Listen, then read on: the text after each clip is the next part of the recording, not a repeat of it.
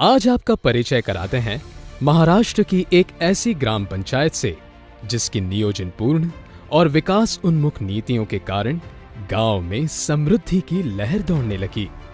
हम बात कर रहे हैं नागपुर ज़िले के काटोल तहसील की खुरसापार गाँव पंचायत की।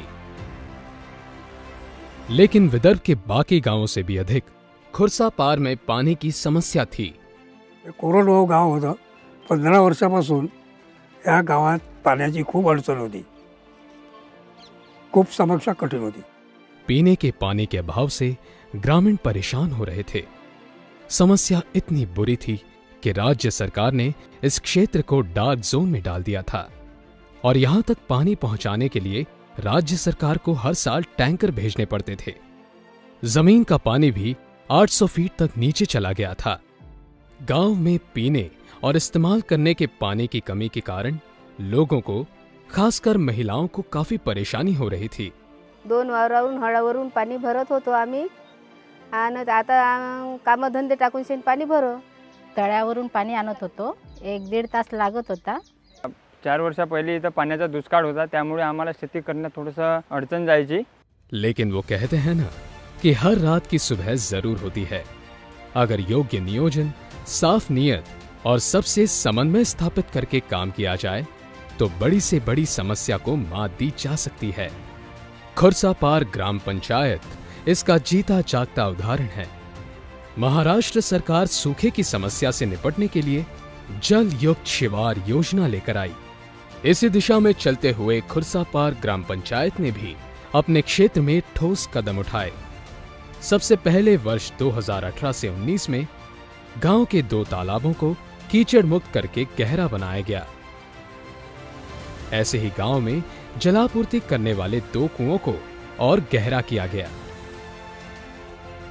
इसके साथ ही 18 बंधारे, यानी छोटे डैम और पाँच किलोमीटर तक नाले से कीचड़ भी निकाला गया।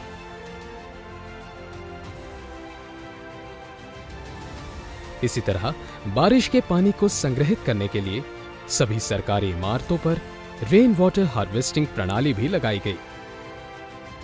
इस मेहनत का असर भी जल्द ही दिखने लगा। गाँव के नाले और जलापूर्ति करने वाले कुओं को 20 रिचार्ज शॉप करके उनका जल स्तर बढ़ाने में सफलता प्राप्त हुई।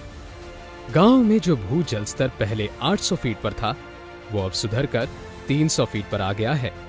चौदहवें और पंद्रहवें वित्त आयोग निधि से गांवों में पानी की लाइन बिछाई गई जिससे हर घर तक पानी पहुंच सका। आता तर आता पाणी आलंच नाही लागत सर आता घरीच पाणी आहे तर आलं ना. आता काय आणावं लागते सर तर आता घरच्या नळालाच पाणी येते तर आम्ही कुठंच पाण्यात जात नाही.